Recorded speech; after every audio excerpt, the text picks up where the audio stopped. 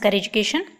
In this video, we will see Science MCQs Class 4 useful for all competitive exams. Topic is Teeth and Microbes. Question When children appear their first teeth? 6 months to 18 months old. Milk teeth is also called dash teeth. Temporary teeth. How many permanent teeth we have? Answer is 32 teeth. First set of teeth is called dash.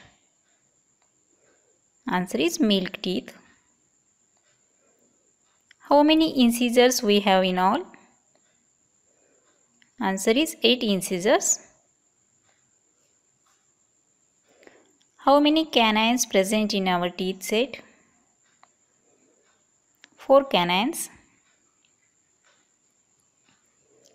Which teeth are used to tear the flesh of other animals? Answer is canines. How many premolars we have in all? Answer is 8 premolars. Which teeth are used to crush and chew the food? Answer is premolars. How many molars are present in our teeth set? 12 molars. Animals that eat plants have well developed dash molars.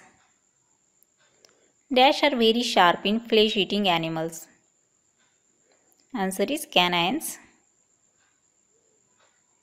A tooth is fixed in dash. Answer is gums. The white part above the gum is called dash. Answer is crown. The part that is inside the gums is called dash. Answer is root. Which is the hardest part of the human body? Answer is enamel. Which is the innermost layer of the tooth? Answer is pulp. We should brush our teeth dash twice daily. Where the digestion process starts?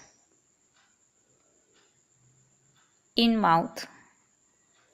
Which digestive juice is produced by liver? Answer is bile.